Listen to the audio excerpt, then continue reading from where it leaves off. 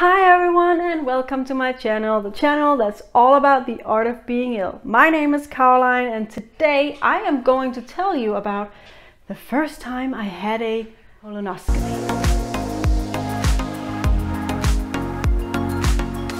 So I had my first um, colonoscopy when I was 22 due to the fact that I had just been diagnosed with morbus Crohn and they wanted to see what on earth was going on in my bowel.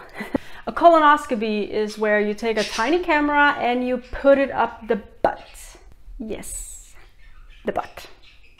To see what's going on inside the bowel. Which makes sense when I have a bowel disease. Makes sense they want to see that, right? I mean, mm. so my first time was literally a living hell. My mom was with me and she can tell you that it really, really was she always says she's not quite sure who was more traumatized, me or her. I was. When you're getting a colonoscopy, you have to prep for it.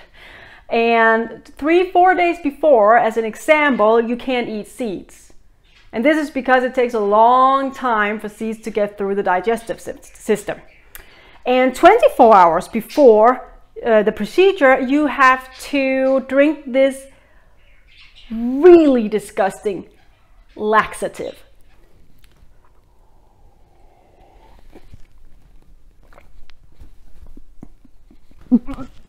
and you also have to fast. So you can't eat anything from 24 hours before the procedure. I was starving. And I'm not a nice person when I'm hungry. About five hours after I drank the laxative, sorry, I started to poop. And when I say poop, I mean poop.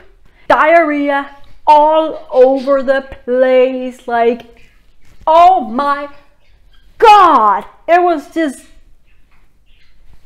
yeah, no, I'm not, I'm gonna stop because um, it's just too disgusting to tell you. On top of that, I had to drink one more glass of laxative about six hours after the first one. So that also meant that I was up most of the night with diarrhea. When I finally got to the hospital, I was just exhausted and I was so hungry. I was starving and I get into the hospital and I'm gonna have the procedure. They uh, prepping for the procedure and everything. And then they gave me some local anesthetic because it's not so bad that you need to be put to sleep. And so it began. And oh my God, the pain. I mean, literally, did they give me any anesthesia at all? Oh my God. The pain was so horrible. I've never like that. Wow, it was so bad. I was, you know, you're you're lying on your side and you're lying on your left side. It has something to do with the way the bowel is. But I was lying on the side, um, facing the screen that where the doctor could tell what was going on inside of my bowel, you know, so they could see what they were doing. And I remember this insane pain. Like, like someone is stabbing you in your bowel. And then I just see on that screen, I see blood. Blood. And I almost fainted. I was tired, I was starving, and they had, after all, even though it didn't work, given me a little local anesthetic. So you know, so I was a little confused as well. I wasn't completely uh, aware, but still aware. Like it was so weird. And it was just, I, I remember I was crying so, so bad because it hurt and I was just seeing blood on the screen and the blood came from apparently them hitting my bowel wall. I mean, so they had to stop the procedure. Thank God. The only thing was that then they had to schedule a new colonoscopy because they couldn't finish this one. But at least, even though I had to go through all the prepping and all that crap again, at least they were gonna put me to sleep the second time. Ah. Uh, just a little fun fact, actually. Uh, when I was done with my second colonoscopy, uh, where they put me to sleep, when I woke up, I remember the nurse telling me that the drug they used to put me to sleep was the same drug that Michael Jackson died from.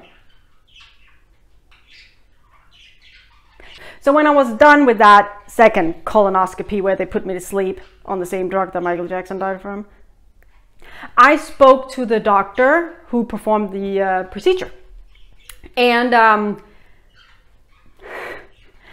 he actually said, I don't understand why they didn't put you to sleep the first time. Because young women's bowels tend to be hard to navigate without hitting the bowel wall. What? So you're telling me that that horrible traumatizing experience never had to happen?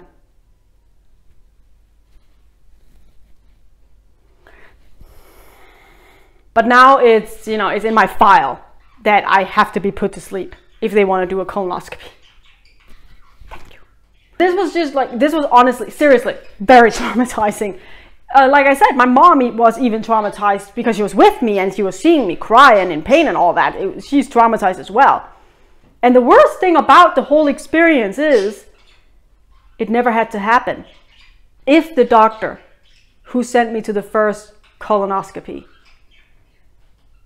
hadn't skipped the class where they told them about young women's bowels being hard to navigate, I never had to experience it.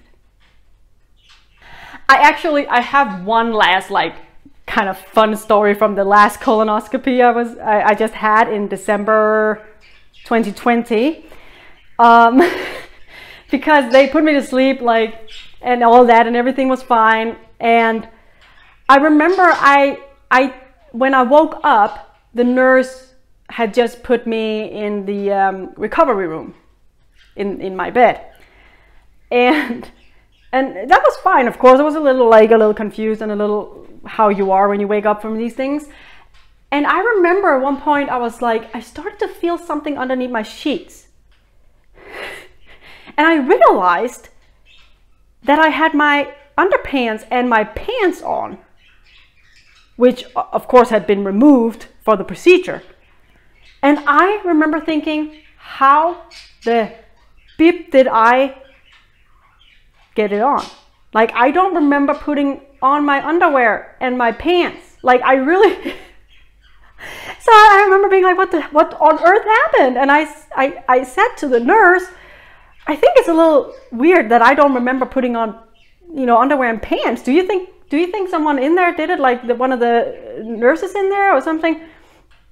And she told me that maybe or maybe you did it yourself and I was like, "But I don't remember that I did it." And she told me that apparently when they put you to sleep like that, you can actually wake up but still not be conscious, but for some reason be able to do what you're told. So I could have been told to put on my pants, go put on my pants without being conscious. So I could have done it myself without knowing. That was actually a possibility. And I just remember thinking, oh crap, what else did I do? If I actually put on my underwear and my pants myself, what else did I do or say? I'm not even sure that I want to know. So everyone, that was today's video. I hope you really liked it. If you did, please give it a thumbs up and please don't forget to subscribe to my channel. It would just mean so much to me. You can also go follow me on my Instagram that is also called, funny enough, The Art of Being Ill. Have a blessed rest of the day and I'll see you next time right here on my channel, The Art of Being Ill.